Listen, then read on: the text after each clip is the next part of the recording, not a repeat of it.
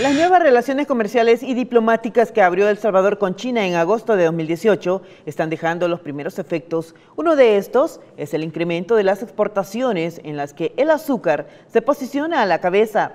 Los chinos dicen estar listos para comprar este producto e incrementar la importación. Este es el almacén de la industria azucarera de Fujian, en la República Popular China compañía que inició las relaciones comerciales con El Salvador durante el año 2019, adquiriendo azúcar a precio del mercado internacional. El azúcar eh, salvadoreño eh, tiene muy buena calidad a un precio muy razonable, así que eh, el año pasado importaron un barco de azúcar en crudo salvadoreño para su alta calidad. Los empresarios chinos conocen de la calidad del azúcar salvadoreña. De ahí su interés en continuar haciendo negocios con El Salvador. Y el uh, azúcar refinado hecho con azúcar salvadoreño, eh, según los criterios nacionales de China, puede llegar a una calidad de primera clase. Datos del Banco Central de Reserva y del Ministerio de Economía destacan que El Salvador pasó de exportar en el año 2017 50.8 millones de dólares a 85.9 en el 2018, 38.7 millones más, un crecimiento del 82%. El mismo informe revela que la principal exportación fue azúcar de caña, que al cierre del año pasado llegó a los 76.53 millones de dólares, reflejando un alza de 38.35 millones con respecto al 2017. La industria azucarera de Fushan fue una de las que más importó azúcar desde China, aunque desconoce desde qué ingenio azucarero salió. No se sabe de cuál empresa exacta porque 50 mil toneladas es una muy gran cantidad.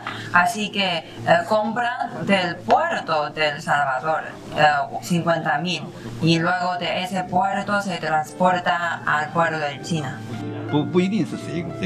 Esta planta tiene capacidad para almacenar un poco más de 26 mil toneladas de azúcar. La empresa asegura que tiene el interés de continuar negociando con El Salvador para importar mucho más este producto. Este empresario asegura que su interés de continuar negociando la importación de azúcar está al margen de cualquier interés político. No, no es un problema porque para los productores de azúcar siempre y cuando tengan demanda y siempre y cuando puedan encontrar azúcar de alta calidad, ah, acuden para comprar, no tiene nada que ver con la política. Las relaciones comerciales con China iniciaron antes del establecimiento de las relaciones diplomáticas con El Salvador.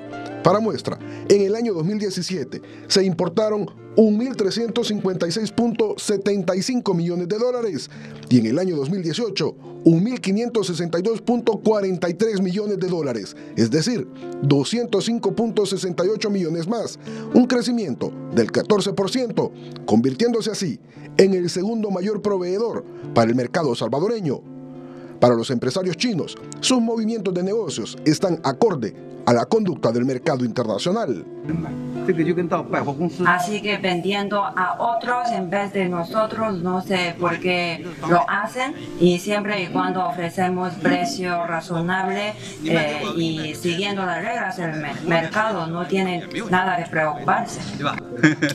Incluso el vicepresidente de esta empresa azucarera indicó que son ellos los responsables de pagar los impuestos de importación y no los empresarios salvadoreños. Las empresas pagan las tarifas y para las empresas, el, eh, por ejemplo, él mismo no sabe si es alto, si es alta o baja la tarifa, todo según el catálogo de tarifas del país. El Salvador pretende exportar hacia la República Popular China al menos 23 productos, entre los que destacan azúcar, café, miel y noni.